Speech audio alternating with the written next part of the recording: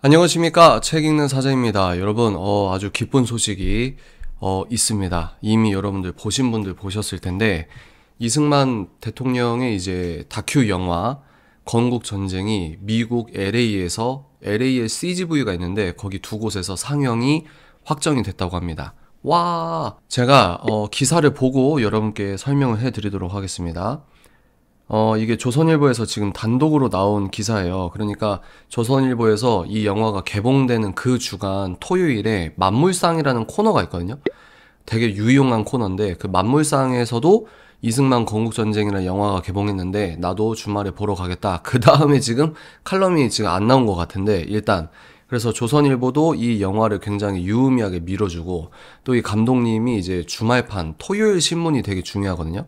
왜냐면 이 신문사마다 토요일은 주말에 사람들이 여유 있게 신문을 보다 보니까 무게감 있는 기사나 심층 기사를 주말판에 실어주는 그런 것도 있어요. 근데 그 감독님의 이 인터뷰를 아주 크게 조선일보 토요판에서 실어준 그런 내역도 있고, 어, 그래서 지금 조선일보 단독으로 지금 나왔는데, 지금 설 연휴 당일에 5만여 명의 관람을 끝냈고, 설 연휴를 이제 끝내면 20만 명이 돌파한다. 그래서 제가 누누이 말씀드리지만 다큐멘터리 영화는 10만, 15만 넘는 게 기적이에요. 그래서 이거는 뭐 꼭 애국이다 이걸 떠나서 다큐멘터리 영화 치고도 지금 엄청난 흥행을 한 겁니다. 근데 이 흥행의 불씨가 꺼지지 않고 있다는 게 문제고, 어, 이제 제가 결론 부분에서 말씀드릴 텐데, 뭐 극장장에 아니면 뭐 CGV 담당 그 상영 이 담당하는 사람의 정치 성향이 왼쪽이든 오른쪽이든 돈이 되면 하는 겁니다. 돈이 되면. 그래서 어, 상영관이 지금 점점 유의미하게 늘어나고 있고 상영 기간도 늘어나고 있는 추세인 것 같습니다. 입소문이 이미 났다는 거죠. 그래서 지금 임동진 목사님께서 이제 참여했던 그것도 다큐 멘터리로 알고 있는데 중간중간에 이제 임동진 목사님이 연기를 하시나 봐요. 그 감독님의 인터뷰도 보니까 CGV에서 먼저 연락이 왔다고 하는 거예요. 어, 아무래도 지금 건국전쟁이 흥행을 하다 보니까, 어, 이거 돈 되네 하면서 이제 호의적으로 이 극장을 열어준 것 같습니다. 엄청난, 어, 흥행을 보이고 있다. 근데 중요한 게 뭔지 아세요, 여러분? 길 위에 김대중 있죠? 이게 12만입니다. 그러니까 이게 만약에 좌파 매체에서 야 우리 지금 이승만 건국전쟁보다 다큐 지금 안 나와서 12만 명으로 우리가 지고 있다. 이러면 이 사람들이 어 뭐랄까 소위 말해서 동원을 하는 거죠. 서로 누가 이기냐 싸움을 하는 겁니다 그러면 얘네들은 이 갖고 있는 매체들이 많기 때문에 어 그러면 우리가 화력에서 밀릴 수도 있어요. 그런데 이제 또 그렇게 되면 우리도 덩달아 올라가는 겁니다. 만약에 만약에 좌파에서 야 김대중 다큐가 이승만 다큐에 밀렸어. 야 우리 봐야 돼 봐야 돼 이런 일종의 문화적 어떤 meme이라고 할까요? 이런 게 쓱 올라오면 이게 노이즈 역할을 해서 반대급부의 관객들도 야 우리 지면 안 돼 이러면서 지금 서로 이렇게 올라갈 수도 있겠다. 근데 이건 좀 추이를 봐야 되고 그래서 지금 어 이승만 다큐가 김대중 다큐보다 훨씬 많은 사람들이 봤다. 어, 그래서 이달 중순이라고 하니까 2월, 지금은 필름을 우리가 이 택배로 보내지 않고 그냥 디지털로 파일만 보내면 되잖아요? 그러니까 이게 좀 어려운 게 아니에요. 그래서 바로 2월 중순에 미국에서 정식 개봉을 한다. 그래서 상영관이 어디냐? CGV LA와 CGV 부에나 파크 이 두 곳에서 하는데 이 극장이 크지가 않아요. 보시면 100석에서 150석 규모라고 합니다. 근데 더 좋아요. 왜냐면 막 뭐랄까 막 몇 천석 이런 것도 좀 무리고 작은 어 극장에 막 미어 터지는 거 이게 더 저는 나름대로 이 시각적이거나 체득적 효과가 크다고 보거든요. 100에서 150석 되는 작은 극장에 예를 들어 한 달 넘게 만석이라고 해보십시오. 그게 기적이 되는 거예요. 만약에 4천석인데 한 3이라고 텅텅 빈다? 이거보다 작을 때 우리가 막 찾아가서 이게 더 낫다. 저는 개인적으로 더 낫다고 보고 LA에 우리 교민들이 많이 계시지 않습니까? 이거는 여러분 이 해외 특히 미국에서도 진짜 문재인 빠라고 하면 그분들이 너무 상처받을 것 같고 진짜 그런 분들이 많거든요.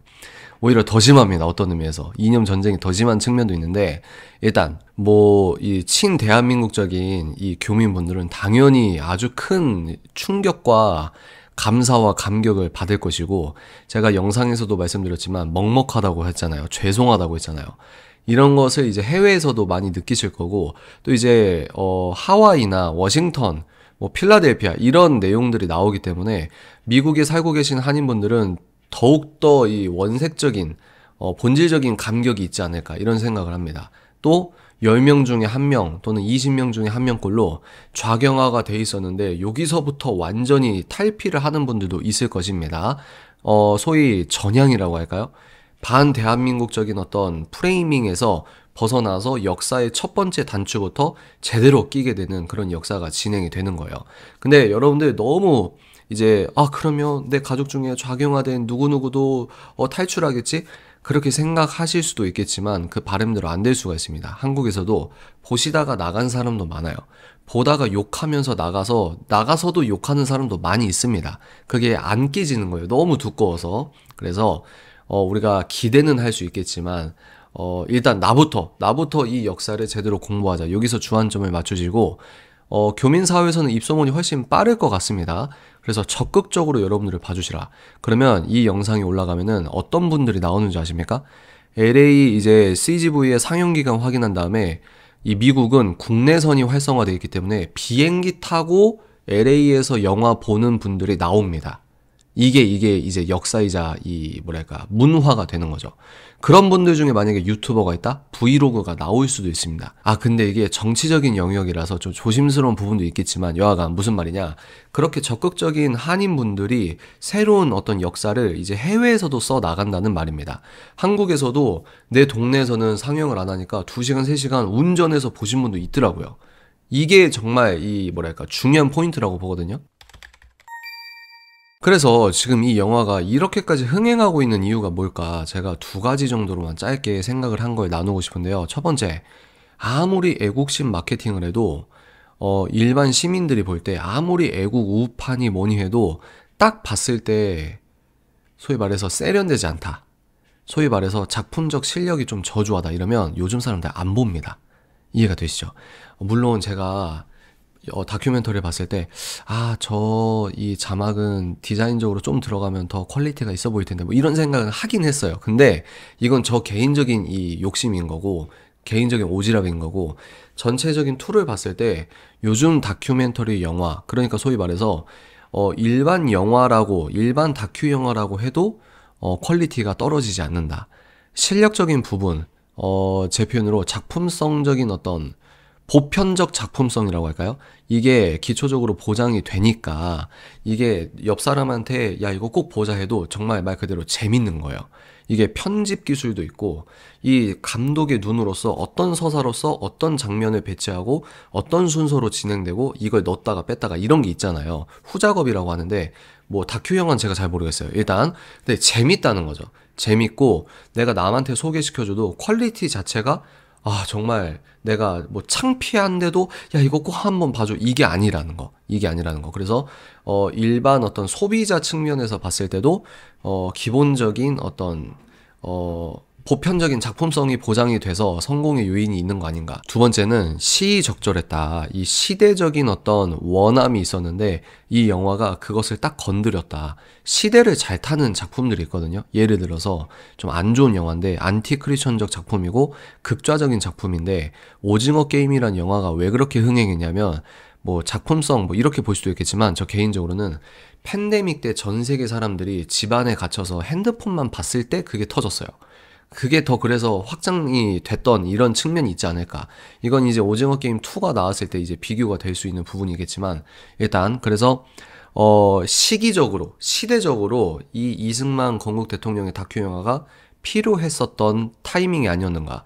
그러니까 박근혜 대통령 탄핵되고 나서 어, 친 대한민국적인 분들은 이미 눈을 떴을 때 이 심각한 위기의식이 있었고, 그러면서 한 문재인이 대통령이 되고 나서 이념적 정치를 5년 동안 하다 보니까 거기에서 깨어난 분이 되게 많습니다. 그래서 이분들은 야, 이 대한민국 세력이 저 광화문 태극기 흔드는 진짜 저 말도 안 통하는 저 꼰대들 이게 아니라 어 내가 보니까 아 뭔가 이상한데 이상한데 하고 소위 말해서 이 좌경화된 어떤 프레이밍에 빠져나와 보니까 자기가 뭐가 필요하냐면 친 대한민국적으로 대한민국을 보고 싶어 하는 그 열망이나 어떤 논리적인 명분이 필요했다고 생각을 하거든요.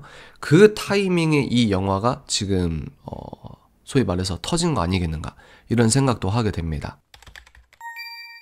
그래서 이 영화가 중요한 의미를 갖고 있다는 거 제가 뭐라고 했습니까? 20만 명이 봤다는 건 일단 다큐 영화로 국한했을 때 굉장히 큰 흥행을 한 것이고 내가 직관적으로 봤을 때 이거는 속이는 게 아니라 그동안 내가 속았던 걸 팩트 그 자체로 씻겨 내려가는 해독적 역할을 하기 때문에 이거는 이 사람들이 가만히 있을 수가 없는 겁니다. 왜냐면 인간은 자기가 옳다고 하는 걸 자발적으로 그리고 내가 자랑스러워하는 걸 자발적으로 누가 시키지 않아도 알리려고 하는 속성이 있거든요. 그러니까 내가 이걸 보고 진실의 눈을 떠서 알리게 되는 겁니다. 그러면 이 영화 자체가 팩트이기 때문에 100년 넘게 점철되었던 반대한민국 세력의 세뇌와 선동이 한 방에 씻겨 나가는 거예요. 거짓은 100년 동안 프레이밍을 해야 되지만 진실은 1초 만에 이 모든 100년 동안의 거짓을 물리치는 힘이 있거든요. 빛이 어둠을 물러나게 하는 것처럼 단번이면 됩니다.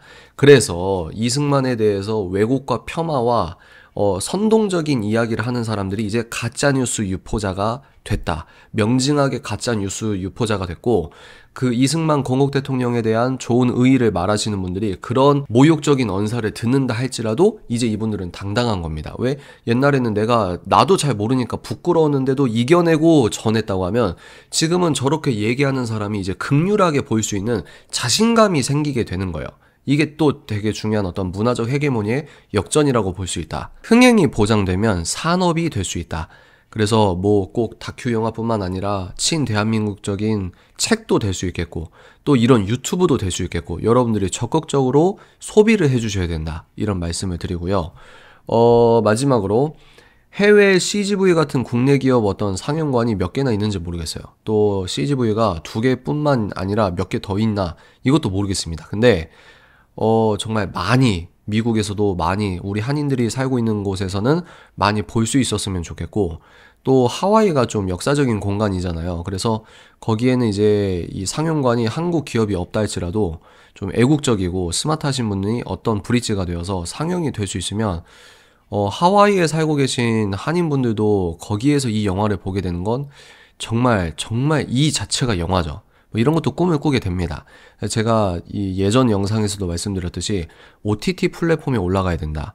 넷플릭스나 웨이브, 뭐 티빙 이런 데 올라가면 정말 이제 전 세계에 있는 한인들이 이 개인 스마트폰 장비를 통해서 개인이 흡수하게 되는 거거든요. 이게 진짜 중요해요. 그래서 뭐 내부에서 어떻게 될지 모르겠지만 일단 여러분 어 아주 기쁘고 감격적인 일들이 연속으로 일어나고 있습니다. 그래서 제가 웬만하면 뭐 그런 거 있잖아요. 예매율이 이 해당 기간 동안 예매율 1위다, 뭐 12만 명을 돌파했다. 제가 이런 거를 영상으로 막 안 찍거든요. 왜냐면 그런 것만 소개하는 채널이 아니니까. 근데 이 소식은 약간 좀 방구석 쩌리 유튜버지만 이 소식만은 좀, 어, 영상으로 남겨둘 필요가 있는 소식이다. 이런 생각을 갖고 영상을 찍게 됩니다. 자, 다음 영상에서 찾아뵙도록 하겠습니다. 감사합니다. 뿅!